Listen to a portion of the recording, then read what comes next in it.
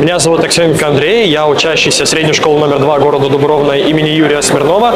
Наш проект называется «Оркестр роботов. Программируем роботов вместе». Э, Суть нашего проекта заключается в том, что мы будем гастролировать с концертной программой «Оркестра роботов» по детским садам, школам, домам интерната, домам культуры нашей страны. Зрители будут активными участниками концерта, они будут петь и танцевать вместе с оркестром, а в конце их будет ждать мастер-класс по сборке и программированию робота-музыканта. Главный робот – это робот-дирижер, он передает э, сигнал по Bluetooth всем остальным роботам.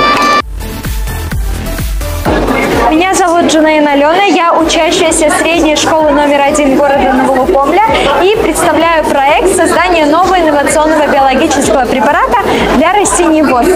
На сегодняшний день биологические препараты гораздо дороже химических пестицидов, так как производство биологических технологически сложный процесс. И я задумалась над тем, как его можно оптимизировать.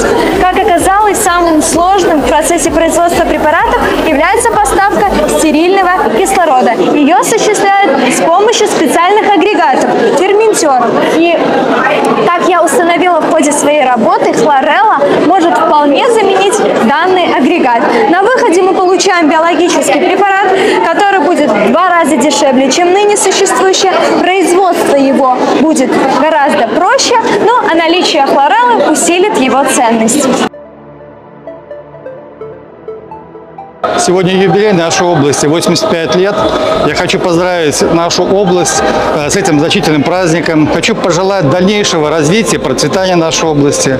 А жителям крепкого здоровья, мирного неба над головой и крепкого домашнего тыла.